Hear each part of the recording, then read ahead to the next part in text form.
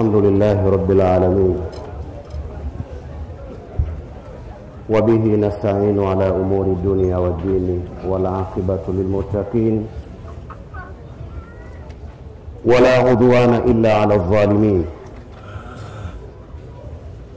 وصلى الله وسلم وبارك على النبي الأمي الهادي إلى الصراط المستقيم. وآله وصحبه أجمعين. وبعد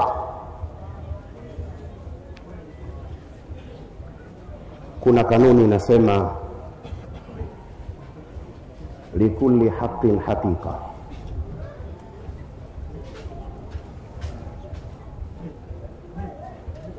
kila kilicho sahihi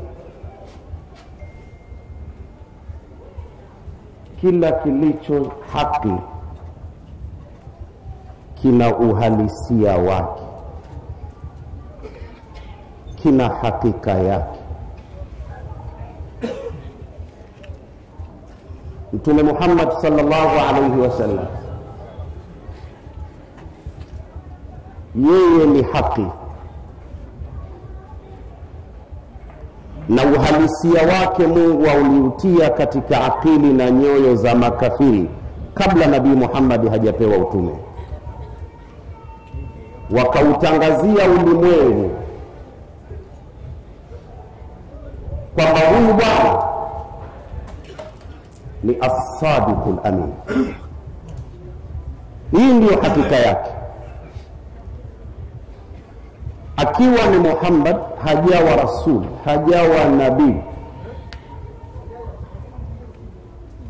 Ili kuonyesha anakuja kuwa nani anakuja kufanya kazi gani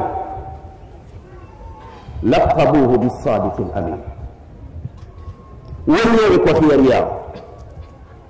Walimtangaza wakampa sifa ya kwamba huyu bwana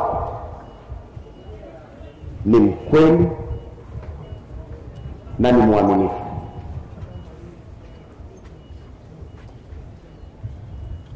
Alikuwa mkweli katika maneno alikuwa mkweli katika matendo alikuwa mwaminifu katika maneno alikuwa mwaminifu katika matendo. Matendo yake maneno yake yaliakisi hivyo. Kweli huyu ni mkweli. Na mpaka qurani ikamtangaza wallahu ala lghaib bidhani ilitosha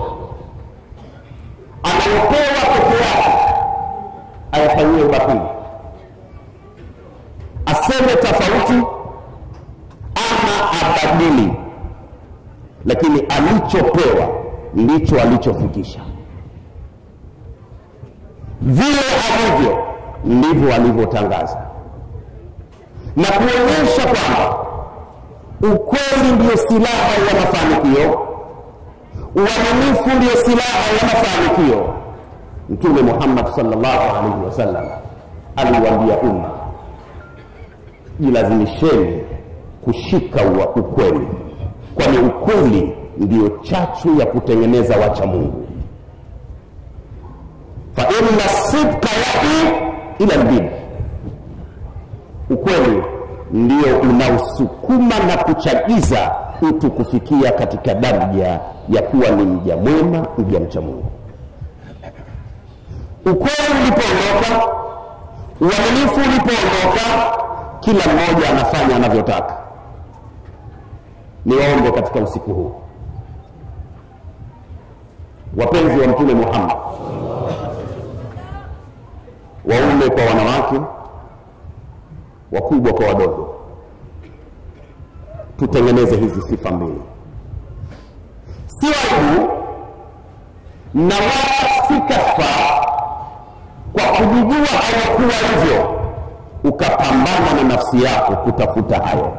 Kila mmoja anajijua. Jiseme mwenyewe jisute mwenyewe. Ishambulie mwenyewe. Lakad kana lakum fi rasulillah uswatun hasana.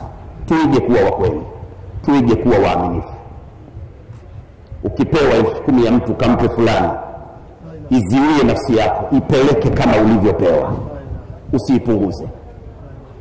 Ukipewa maneno kapeleke kwa fulani idhibiti nafsi yako yafikishe kama yalivyo na ikiwa maneno hupasi kusema kuwa mwaminifu usifikishe. Aliyekwambia anakwambia hii siri nakupa basi kuwa mkweli kwa sababu mtume wake muhammad salllahu alehi wasallam alikuwa afsaru alkamin kwa nini usiwe mkweli? Kwa nini usiwe mwaminifu? Jamii hii inaharibika kwa sababu watu si wakweli si waaminifu. Kwa nini ndoa zinaharibika? Sisi si wakweli si waaminifu misikitini ugomvi magomvi hayaishi sio wakweli sio waaminifu kwa nini watu wanapendana kama maji ya bahari? Yanajaa na kupwa sio wakweli sio waaminifu hebu kila mmoja akae peke yake akajisute. Nitakuwa hivi mimi mpaka lini? Sibadiliki mimi mpaka lini? Tumekuwa watumwa wa dunia tumekuwa watumwa wa pesa inafika wakati mtu anafanya kazi si yake kwa sababu ya pesa tuwe wakweli tuwe waaminifu huwa alladhi arsala rasulahu bilhuda wa dini lhaq liyudhhirahu ala dini kulli wassalamu alaikum warahmatullahi wabarakatuh